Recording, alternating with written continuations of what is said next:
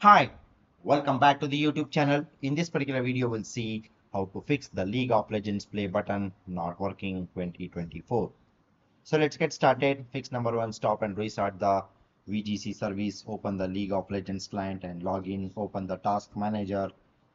In the processes tab, find the Vanguard user mode service. You may need to switch to the details view to see this process. Expand the process to find the VGC, right click on the VGC and then choose open services. In the services window, find VGC, select it and right panel choose stop the service. The League of Legends client should give an error message and choose close itself. If not, close the client manually using the task manager if needed. Start the VGC service again, reopen the League of Clients League of Legends client once again. Fix number two is delete the configuration files.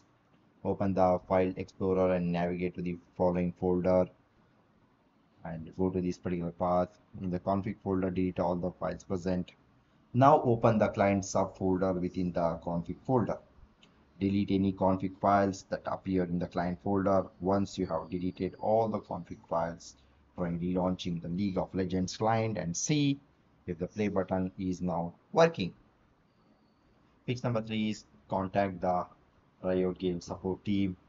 If you have tried all other troubleshooting methods and if you're still facing the problem, you can contact the Riot Games support team for further assistance through the website support hyphen league of legends dot slash let's see slash en hyphen us okay so once you visit this particular website you can ask them. You can just check for the help what you can get it from the service team.